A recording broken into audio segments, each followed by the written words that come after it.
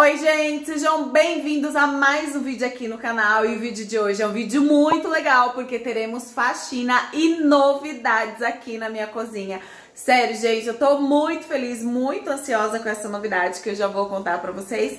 Já deixa o like no vídeo, se inscreve no canal e ativa o sininho pra você não perder nenhum vídeo novo. Agora, bora lá pro vídeo.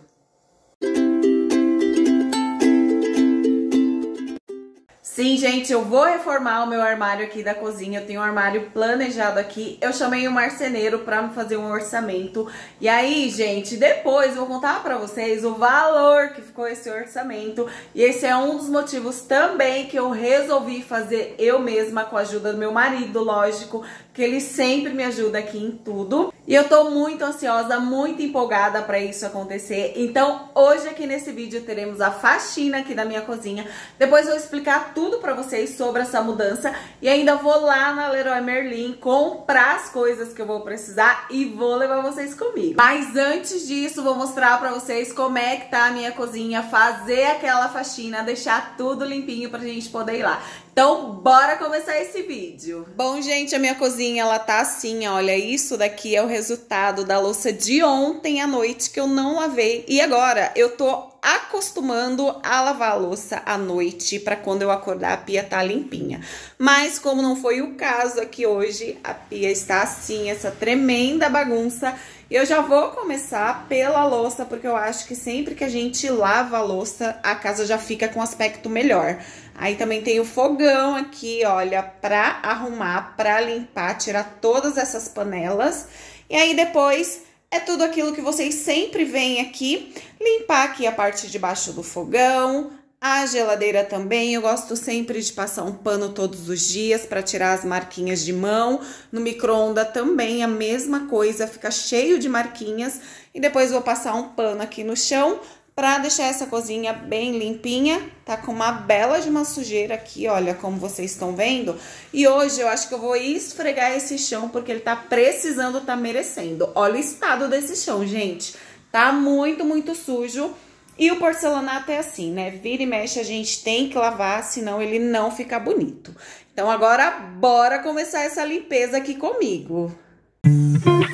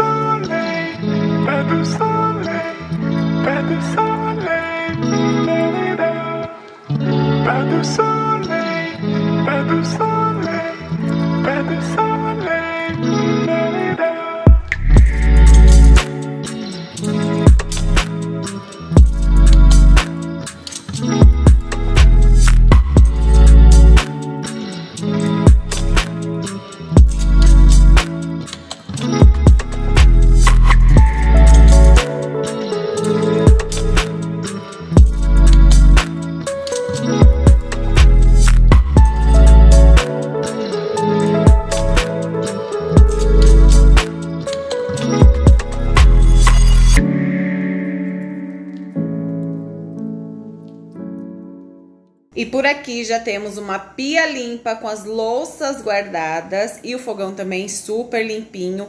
E olha como só isso já tira aquele aspecto de bagunça que tava na cozinha, né? Mas não acabou não, viu? Agora eu vou limpar aqui o micro-ondas, vou limpar o espelho do meu fogão, limpar a geladeira também e o chão pra gente finalizar.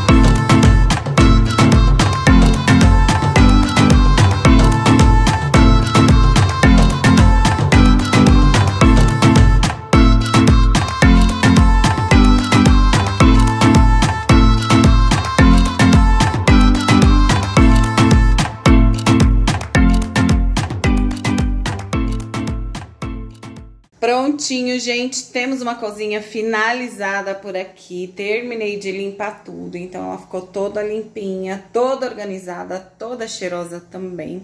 E olha isso, gente, a bancada toda livre, fogão limpinho. Agora, olha, 1h56, porque demorou pra terminar isso tudo aqui. Micro-ondas tá limpinho, livre de marcas de dedos. Aí, limpei aqui também. E esse espelho aqui do fogão. Essa parte aqui do forno é espelhada, então todo dia tem que limpar, não tem jeito. Aí a geladeira passei um pano, como vocês viram aí. E acabei lavando o chão para deixar ele bem limpinho assim, brilhoso, do jeito que eu gosto. E aí a cozinha tá assim, gente, aquela paz que a gente tanto gosta.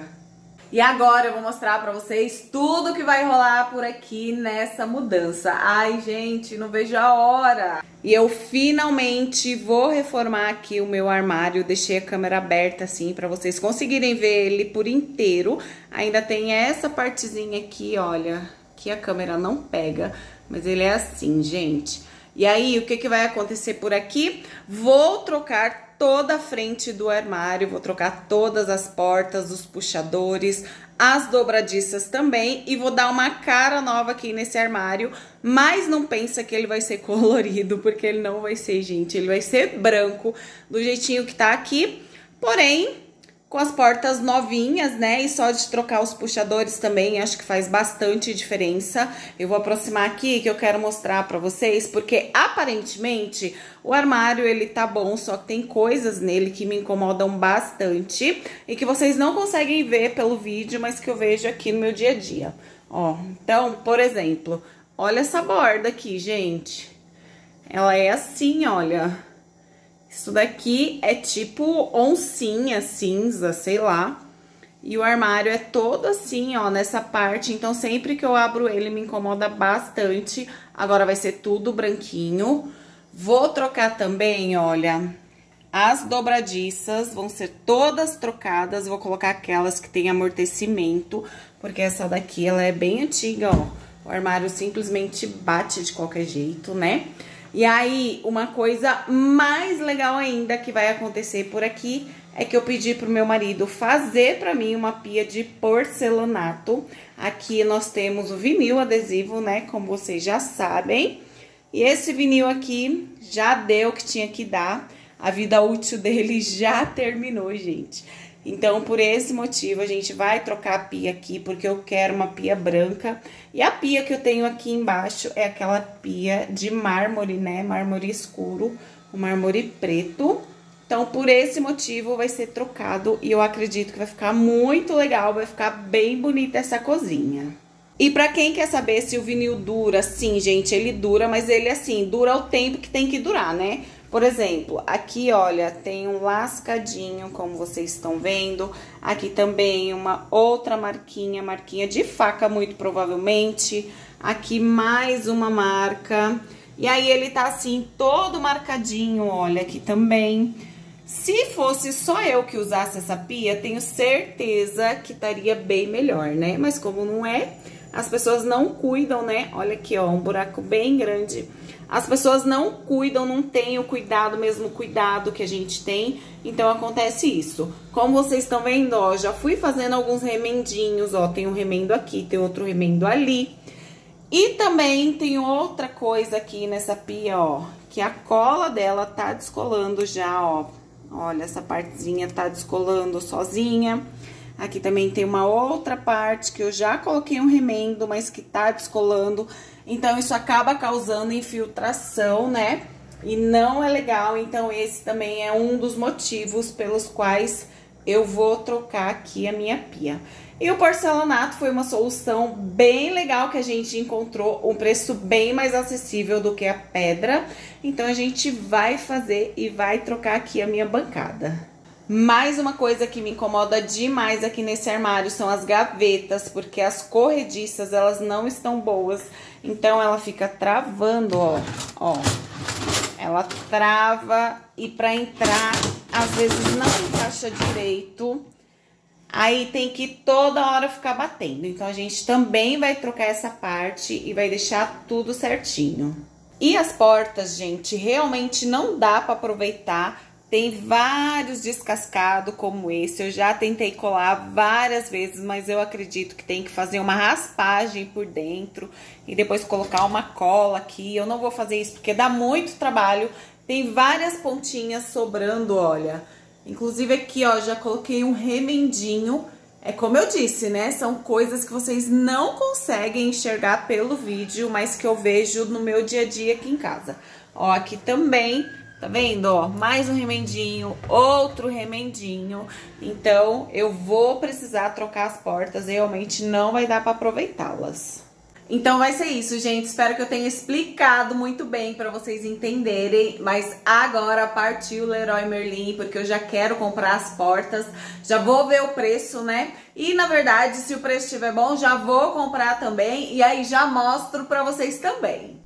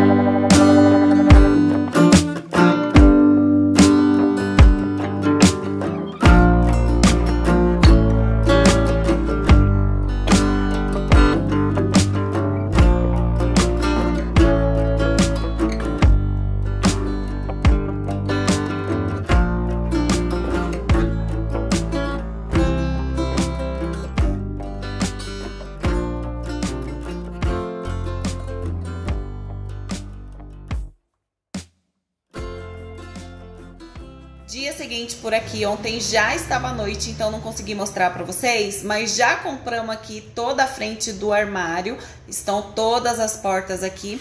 E aqui a gente vai ter um trabalhinho que é colar a fita de borda, como vocês estão vendo, não tem.